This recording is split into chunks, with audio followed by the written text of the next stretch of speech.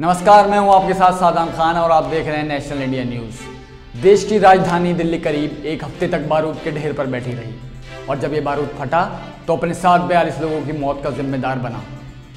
लेकिन शायद ही कभी किसी ने सोचा होगा कि जहाँ लोग सालों से रह रहे हैं, वहाँ से निकलने में भी लोगों को डर लगेगा। लोग अपने ही घरों की चार दीवारी में कैद हो जाएँगे। यहाँ रहने वाले लगभग 35 लाख लोग अब भी दहशत में हैं। आलम यह है कि रात में पुलिस कर्मियों के गश्त के अलावा मोहल्ले के लोग भी पहरा दे रहे हैं। पुलिस बैरिकेड लगाकर लोगों ने अपनी गलियों को बंद कर रखा है। उन्हें डर है कि रात के अंधेरे में फिर कोई आकर उनका चैन न छीन ले। जहाँ युवाओं को रोज़गार देने की बात की जा रही है तो वहीं इस, इस हिंसा ने करीबों गरीबों के उनसे रोजी रोटी छीन ली है। हिंसा के दौरान सबसे ज़्यादा मुसलमानों के ऑटो ठेले दुकानों को आग के हवाले कर दिया गया। तो कई हिंसा प्रभावित इलाकों में दुकानों में जमकर लूटपाट की गई।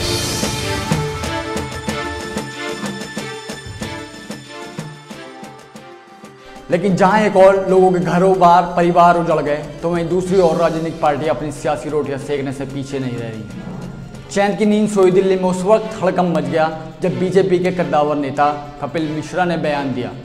बस फिर क्या था? फिर हुआ ये कि दिल्ली में मानो अचानक से ज्वालामुखी फटा हो।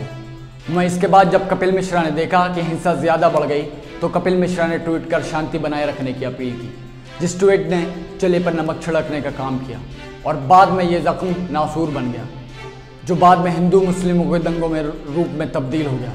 दिल्ली की सड़कों पर यह भीड़ ऐसे वक्त में उतर रही थी जब भीम आर्मी के चीफ प्रमुख चंद्रशेखर आज़ाद ने 23 फरवरी को भारत बंद बुलाया था। हिंसा का कई दिन बीत जाने के बाद लोगों ने अपना परिवार खो दिया, रोज़गार खो दिया, लेकिन हमारे देश के प्रधानमंत्री नरेंद्र मोदी ने ना तो किसी को हाल जाना और ना ही लोगों को लोगों के लिए किसी सहायता का ऐलान किया।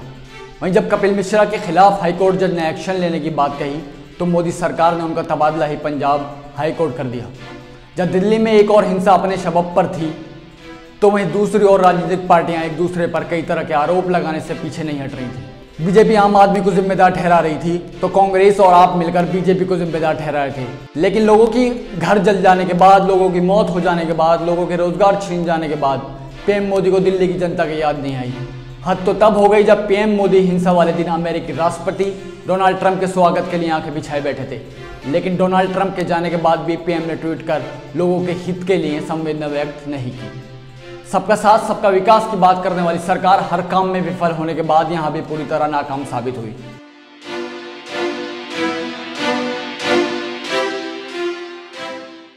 सरकार वादे बड़े गए कर कर सत्ता में आई थी, लेकिन किसी ने सही कहा है कि दूर के ढोल सुहाने लगते हैं। जनता के साथ भी यहाँ वही हुआ। अगर वाकई सरकार को जनता की परवाह है तो ये परवाह दिखाई कब देगी? या फिर आपको आपके भक्ति बिना विकास के ही चुनते रहेंगे? बात यहीं ख़त्म नहीं होती। जहाँ एक और पीएम ने लोगों के लिए कुछ ऐलान नहीं किया तो वहीं दूसरी ओर केजरीवाल सरकार ने लोगों की सहायता के लिए मुआवजे का ऐलान तो किया। कुछ लोगों को मुआवजा भी मिला, लेकिन कहानी में असली मोड़ जब आया, जब डिप्टी सीएम मनीष सिसोदिया ने मुआवजा देने से हाथ खड़ा कर दिया। मनीष सिसोदिया ने कहा कि सभी को मुआवजा देना मुश्किल है। इसकी जाँच में बहुत समय लगेगा। लेकिन दूसरी तरफ़ हिंदू दंगाइयों ने सैकड़ों मुस्लिम परिवारों के घरों और दुकानों को आग के हवाले कर दिया।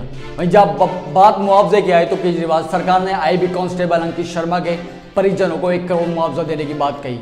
लेकिन उन गरीब मुसलमानों का क्या जिन्होंने अपने घर बार और कारोबार को खो दिया? यहाँ तक कि दंगाइयों ने बुढ़ी महिला को भी नहीं बख्शा। दरअसल दंगाइयों ने घर में आग लगा दी, लेकिन महिला ज़यीफ होने की वजह से छत पर नहीं चढ़ पाई।